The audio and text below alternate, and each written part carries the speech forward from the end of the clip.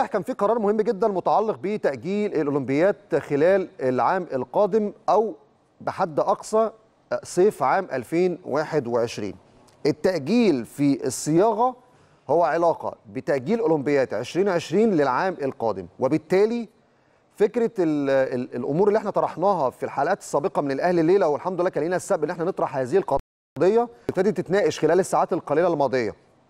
ماذا لو بعد تأجيل الأولمبياد فكرة لاعبي كرة القدم تحديدا اللي هم مواليد 97 هل هيلعبوا السنة القادمة في الأولمبياد ولا لأ؟ الكابتن شوقي غريب كان ليه تصريحات مهمة وحسم هذا الأمر بشكل طيب جدا وقال إن الأولمبياد في آه صيغة القرار اللي هم اتبلغوا بيها إن الأولمبياد اتأجلت للعام القادم بس بنفس المسمى أولمبياد 2020 فبالتالي كل الأجيال اللي ساهمت في تأهل المنتخب الوطني مواليد 97 أو أقل طبعا من هذا المرحلة السنية أكيد موجودين في البطولة القادمة. مفيش أي استثناءات ومفيش أي تعديل هيتم على اللوائح لأن البطولة بالمسمى بتاعها مؤجل للعام القادم بسبب الظرف الصحي اللي بيمر بيه العالم كله خلال الفترة الحالية. وبالتالي خلاص مفيش أي أزمة.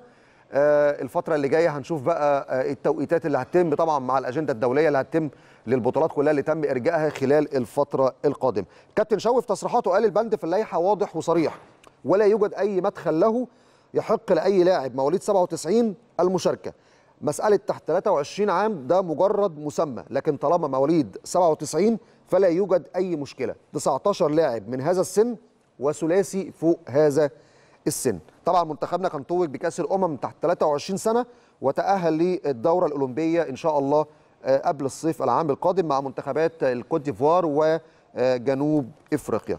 طبعا تعليق النشاط في الدوري المصري تم خلال الساعات القليلة الماضية ومستمر إن شاء الله جاي حتى منتصف إبريل. ومفيش أي كلام على فكرة إلغاء أو أي أمور أخرى.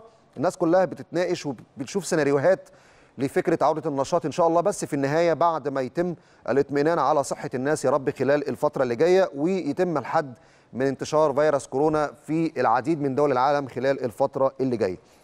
امبارح كان لنا إطلالة كده بتصريحات للجهاز الفني